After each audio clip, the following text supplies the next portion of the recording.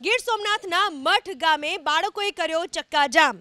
કારણ હતું પડતી મુશ્કેલી ગામની શાળા પાસે ખાનગી સિમેન્ટ કંપનીનું ગોડાઉન આવેલું છે, જેમાંથી ઉડતી રજકરણના કારણે વિદ્યાર્થીઓ અભ્યાસ નથી કરતા. આરોગ્ય પર પણ અસર પડી રહી છે. રોષે ભરાયેલા ગ્રામજનોએ ખાનગી કંપનીના વાહનોને અટકાવ્યા અને બાળકોને રસ્તા વચ્ચે બેસાડીને અભ્યાસ શરૂ કરાવ્યો. મામલતદારનું કહેવું છે કે સમગ્ર મામલો જીપીસીબીનો છે.